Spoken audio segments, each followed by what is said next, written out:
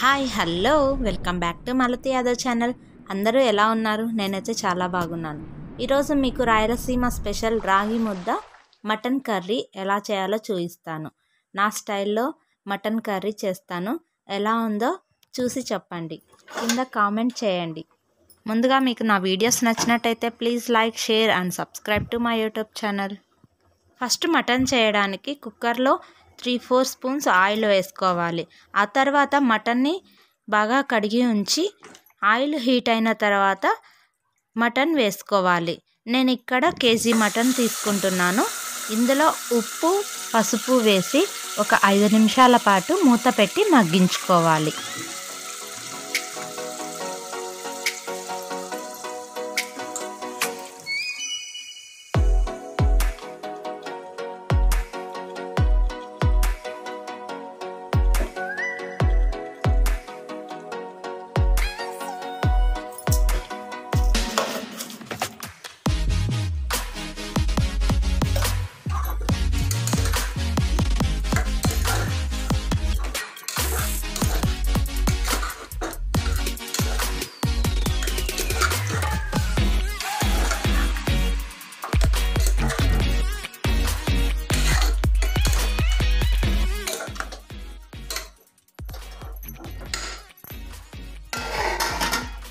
ఇక్కడ మటన్ మగ్గేలోపు మసాలా ప్రిపేర్ చేసుకుందాం.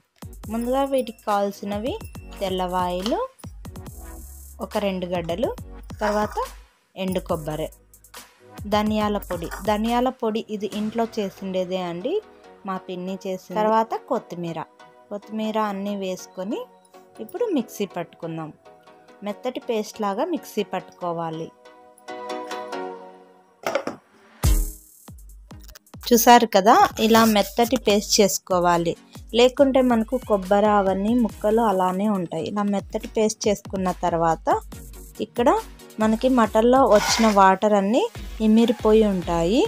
ఇప్పుడు ఇందులో త్రీ టేబుల్ స్పూన్ కారం వేసుకుంటున్నాను. మీరు తగినంత కారం వేసుకోవచ్చు.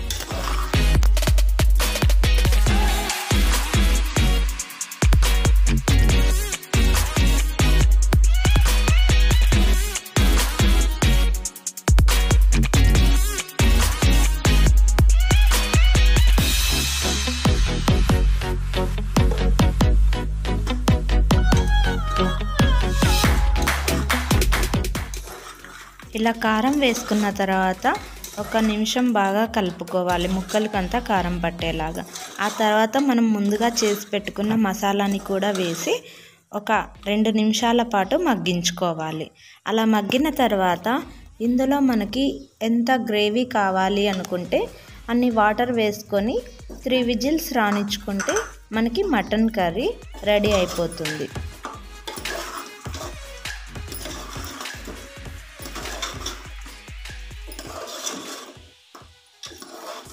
మీకు మటన్ ఫ్రై కావాలి అనుకుంటే ఇందులో ఒక చిన్న గ్లాస్ వాటర్ వేసి మనం ఒక మూడు విజిల్స్ రానిస్తే మనకి ఫ్రై రెడీ అయిపోతుందండి. లేదు గ్రే నేను ఇక్కడ గ్రేవీనే చేస్తున్నాను కాబట్టి త్రీ గ్లాసెస్ వాటర్ వేస్తున్నాను. చూడండి ఇక్కడ మటన్ ఎంత జ్యూసీగా కనిపిస్తుందో. చాలా బాగా ఉంటుందండి మటన్ కర్రీ. నా స్టైల్లో ఇలా చేయండి ఒకసారి.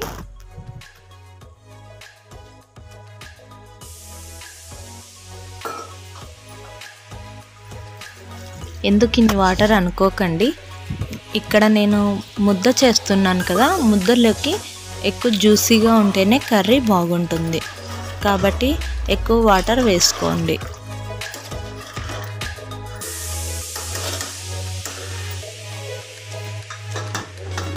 ఇక్కడ కుక్కర్ మూడు విజిల్స్ వచ్చే లోపల మనం ముద్ద కూడా చేసుకుందామండి. ముద్దకు కావాల్సినది ఫస్ట్ మనం రైస్ ఎలా అయితే చేసుకుంటామో దానికన్నా ఒక గ్లాస్ వాటర్ ఎక్కువ వేసుకొని ఉడికించుకోవాలి. ఒక స్పూన్ సాల్ట్ కూడా వేసుకోవాలి. ఒక గ్లాస్ బియ్యంకి ఈ కప్పు రాగిపిండి తీసుకుంటున్నాను. ఇలా రాగిపిండి అంతా పైన వేసుకోవాలి. ఈవెన్గా వేసుకొని ఒక ఐదు నిమిషాల పాటు ప్లేట్ మూసి అలానే ఉంచాలి. సిమ్లో పెట్టుకోవాలి గ్యాస్. ఇలా ఒక ఐదు నిమిషాల తర్వాత ప్లేట్ తీసి చూస్తే మనకి ఇలా కొంచెం పైన అంతా ఆవిరి వచ్చి ఉంటుంది. ఇప్పుడు మనం ఉండలు కట్టకుండా రాగి పిండిని కలుపుకోవాలి. కలుపుకునేటప్పుడు జాగ్రత్తగా కలుపుకోవాలండి. లేకుంటే ఉండలు కట్టుకుంటుంది. ఇలా బాగా కలుపుకోవాలి. ఎక్కడే కానీ మనకి రాగి పిండి ఉండలు కనిపించకుండా ఇలా బాగా కలుపుకోవాలి.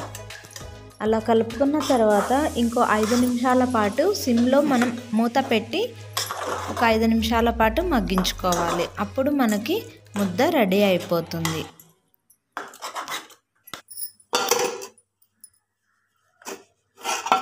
చూసారు కదా? ఇలా గట్టిగా అవ్వాలి ముద్ద. మనం ఇలా గరిట తీసుకొని ఇలా తీసుకొని పైకి అంటే అది పడకూడదు. అంత గట్టిగా అవ్వాలి ముద్ద. అప్పుడు మనకి రెడీ అయినట్టు. ఇప్పుడు ముద్ద మనకి రెడీ అయిపోయింది కదా మటన్ కూడా త్రీ విజిల్స్ వచ్చేసింది. గ్యాస్ ఆఫ్ చేసి కర్రీ ఎలా వచ్చిందో చూపిస్తాను.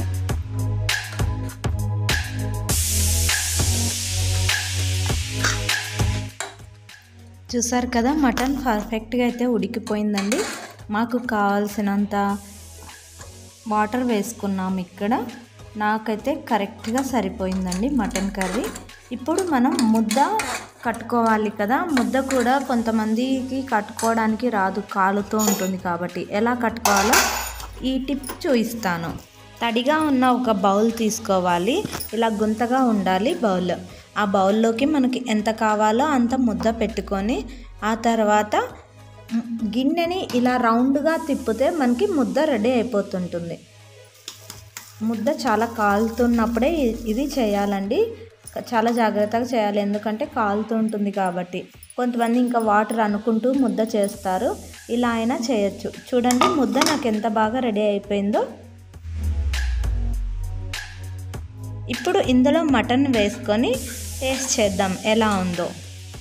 చూసారు కదా నా స్టైల్లో మటన్ కర్రీ రాగి ముద్ద ఎలా చేయాలో.